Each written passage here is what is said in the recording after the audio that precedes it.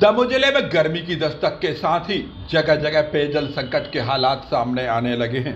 यह तस्वीरें दमोह शहर के सागर नाका इलाके की हैं, हृदयपुर क्षेत्र की हैं, जहाँ के लोगों ने आज सागर नाका, सागर मैन रोड पर जाम लगा दिया है। करीब एक घंटे से महिलाओं का, बच्चों का, पुरुषों का प्रदर्शन चल रहा इन लोगों का कहना है कि एक एक किलोमीटर दूर से उनको पानी लाना पड़ता है। उनका इलाका नगर पालिका और ग्राम पंचायत के फेर में उलझा हुआ है। 2019 में पानी देने का वायदा किया गया था, लेकिन 2022 आ चुकी है और पानी का कोई इंतज़ाम नहीं है।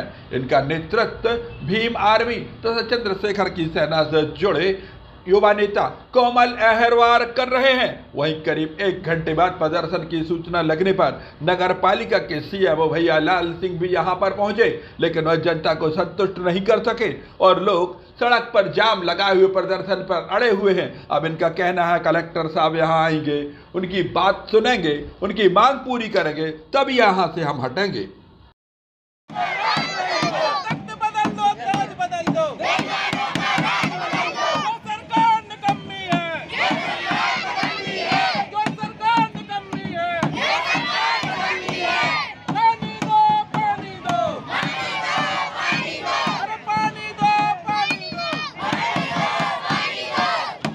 भी गाँव है, ये हृदयपुर अपने आप को ये लोग बताते हैं कि आदर्श गाँव तो मैं वो आदर्श गाँव दिखाना चाह रहा हूँ।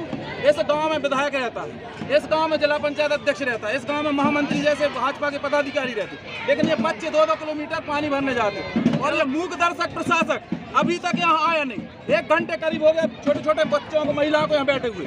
तो मैं ये देखना चाहता हूँ बताना चाहता हूँ कि आखिर इनकी नींद कब खुलेगी? और अगर ये लोग नहीं आते तो निरंतर ये धरना चालू रहेगा और हमारी मांग है इसके पहले तहसीलदार महोदय, एसडीएम महोदया लेकिन जब तक यहाँ कलेक्टर साहब नहीं आएँगे और यहाँ लिखित में नहीं देके जाएँगे कि कल से काम चालू होगा, कल से पानी की व्यवस्था की जाएगी, हमें टैंकर नहीं चाहिए। जो ये लोग टैंकर भेजते हैं, सिर्फ़ और सिर्फ़ हमारे लोगों के बीच में लड़ाई होती है, जेल जाते हैं और मरते हैं। तो हमें पानी की व्यवस्था चाहिए जो आज नरेंद्र मोदी जी बड़ी बड़ी बातें करते हैं, पंद्रह अगस्त 2019 में उन्होंने जल जीवन मिशन एक चलाया था और 2022 में वो पूर्ण कर रहे थे। लेकिन आज मार्च मार्च 2022 चल रहा है। अभी तक हमारे गाँव में ये जो सटा हुआ है, शहर से सटा हुआ गाँव है और नगर पालिका में आ चुका है। इस गाँव में आज भी पानी की एक बूंद नहीं